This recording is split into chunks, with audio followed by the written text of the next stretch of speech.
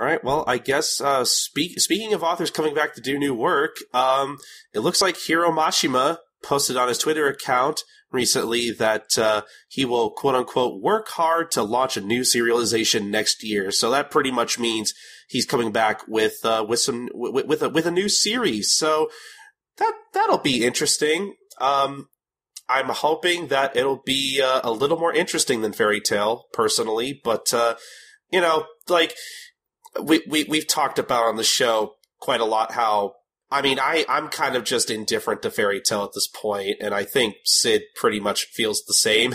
But I'm, I'm also a fan of Rave Masters, so like, I know Mashima is, he's capable of good storytelling, I know that. And I also, I also really just respect him as an artist because, man, he really, he really churns out a lot of work when he feels like it and when he can. So, I still, I still respect his work. I just, I'm, I'm just, I'm just hoping that the story for his next series will be a little more interesting.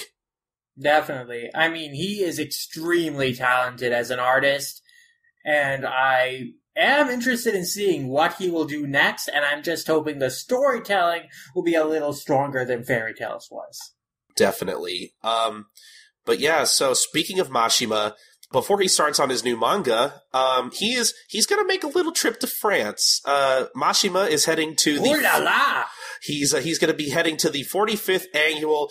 Bear with me on this. Uh, Angol- Angoulême uh, International Comics Festival. I probably butchered that so badly. I don't know how to speak French or pronounce it, so I apologize. Um, but the, the, the, point here is that he's going to have an entire exhibition dedicated to Fairy Tail.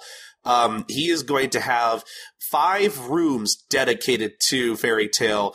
uh, also, along with more than 100 drawings, 50 manuscripts.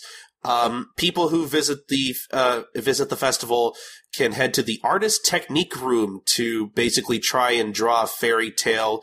Uh, probably a bunch of characters, I'm sure, using an in- instructional video. There'll be figures and costumes on display, and Mashima himself will be visiting the exhibition to hand out autographs. So if you're a fan of Fairy Tail and you live in France, um, you should probably get on this because this sounds amazing.